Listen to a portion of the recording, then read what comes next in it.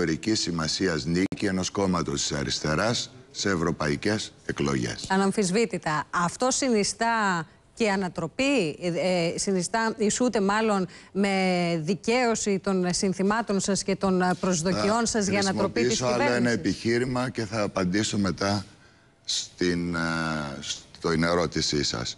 Το δεύτερο επιχείρημα.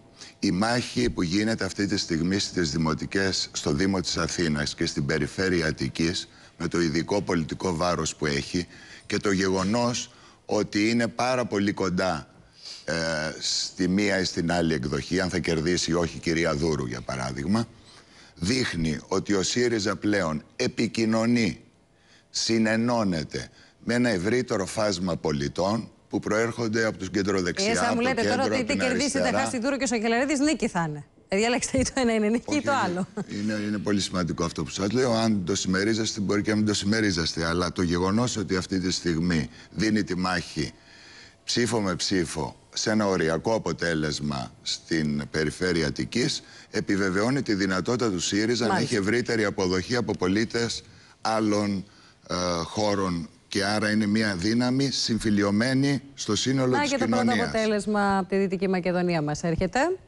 Έτσι, καλά, είναι τώρα εκλογικό τμήμα, δεν, δεν δίνουμε σημασία για την ιστορία. Λοιπόν, το... ε, κύριε Σταθάκη, δεν μου απαντάτε όμως αν αυτά τα αποτελέσματα ισούνται με δικαίωση του στοιχήματος του ΣΥΡΙΖΑ. Νομίζω ότι. Φεύγουν αύριο ή δεν φεύγουν; Δηλαδή του κυβερνητικού σχήματος. Αυτό ευθέως.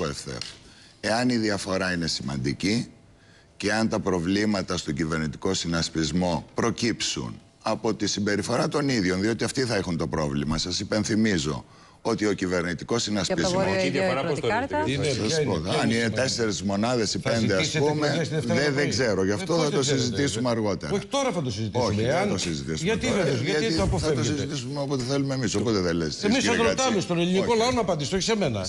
Είπατε ότι η διαφορά θα σα απαντήσω αργότερα. Τι αποστερεά Ελλάδα. Σαν το Σταύρο το Θοδωράκι το κάνει. Σε μια εβδομάδα θα μα πει αν θα είναι. Να ολοκληρώσει τη σκέψη μου. Ολοκληρώστε. Την παρεμβολή του κ. Χατζή. Δεν θέλω του δημοσιογράφου να παρεμβαίνουν ότι σας ενοχλούν.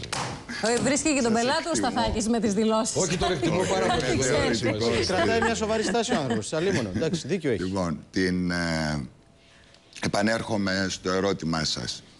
Η πρωτιά και η ύπαρξη μιας σημαντικής διαφοράς, ένα καθαρό μήνυμα, δηλαδή μια καθαρή νίκη του ΣΥΡΙΖΑ, θέτει πρόβλημα σε μια κυβέρνηση η οποία σας υπενθυμίζω Στις προηγούμενες ευρωεκλογές πήρε 64%, στις εθνικές 42% και τώρα κινείται γύρω στο 33, 34, 32. Άρα υπάρχει ένα μείζον θέμα.